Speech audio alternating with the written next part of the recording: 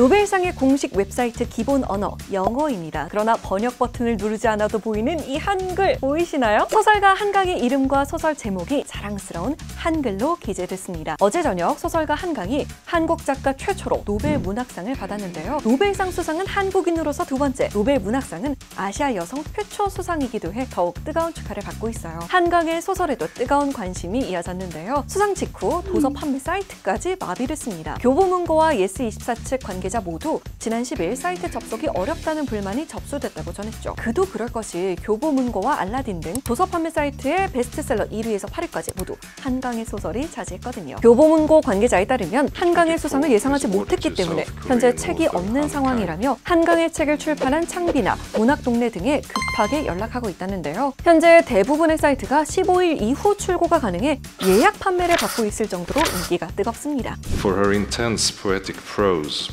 that confronts historical traumas and exposes the fragility of human life. 한강은 수상자 발표 이후 노벨상과의 인터뷰에서 어릴 때부터 책과 함께 자랐고 한국 문학과 함께 성장했다고 할 수 있다며 한국 문학 독자들과 동료 작가들에게 좋은 소식이 됐으면 좋겠다고 수상 소감을 밝혔어요. I'm so surprised and and I yeah, absolutely I'm honored the peaceful evening. 여러 외신들도 주목했는데요. 한강의 이번 노벨 문학상 수상은 점점 커지고 있는 한국 문화의 세계적 영향력을 반영한다고 강조했습니다. 한강의 노벨상 수상, 한글날 다음 날이라 그런지 더욱더 우리나라가 자랑스러워지네요. 여러분, 주말입니다. 이번 주말에는 책을 읽으면서 여유롭게 보내보는 거 어떨까요? 읽고 싶은 책 댓글로 남겨주세요. 저희가 볼게요. 구독과 좋아요 잊지 마세요. 안녕!